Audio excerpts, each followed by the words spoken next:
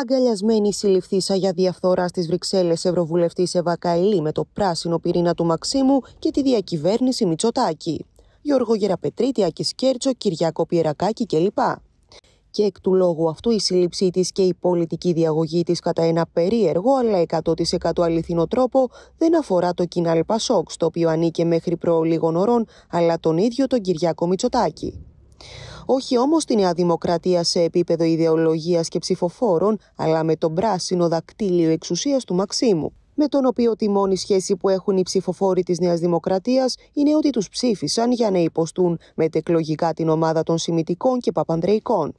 Το ζητούμενο είναι ότι η διεφθαρμένη Ευακαηλή που ξεφτύλισε την Ελλάδα είναι η ίδια που μπλοκάρισε την έρευνα της ΠΕΓΑ τον περασμένο Σεπτέμβριο για τις υποκλοπές, προσφέροντας πολύτιμες υπηρεσίες και ανάσες στην κυβέρνηση Μητσοτάκη και βέβαια ψυχείται και σώματι ανήκε στο σύστημα του Μαξίμου, ως εν αναμονή επόμενη επιλογή στη διεύρυνση προς το κέντρο του Κυριάκου Μητσοτάκη. Λειτουργώντας λοιπόν μέσα στο γενικότερο διεφθαρμένο σύστημα Βρυξελών και Στρασβούργου, η Εύα Καηλή, τύπης μέλος του Κινάλ Πασόκ, δήλωσε δημοσίως τη συμπάθειά της στον Κυριάκο Μητσοτάκη, εκτός από την αγάπη της στον Ανδρέα Λοβέρδο, που στήριζε το Μαξίμου με νύχια και με δόντια, με τους γνωστούς δημοσκόπους να του δίνουν άνετη επικράτηση εναντί του Νίκου Ανδρουλάκη και του Ανδρέα Παπανδρέου. Μάλιστα υποστήριζε ότι ανήκει στο χώρο του κέντρου και το πολιτικό του προφίλ μοιάζει με τον Γάλλο πρόεδρο Εμμανουέλ Μακρόν.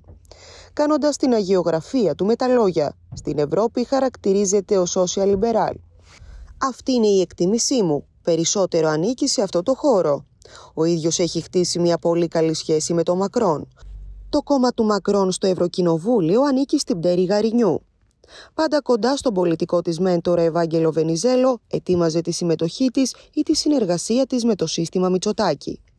Η σύλληψή της με σακούλες και βαλίτσες με χρήματα από το Κατάρ κατέστρεψε το σύστημα που είχε στήσει το Μαξίμου στην Ευρωσοσιαλιστική ομάδα και το αντίβαρο στον Νίκο Ανδρουλάκη, καθώς ετοιμαζόντουσαν να τις αναθέσουν οι ειδικές αποστολές προεκλογικά για την αποδόμησή του.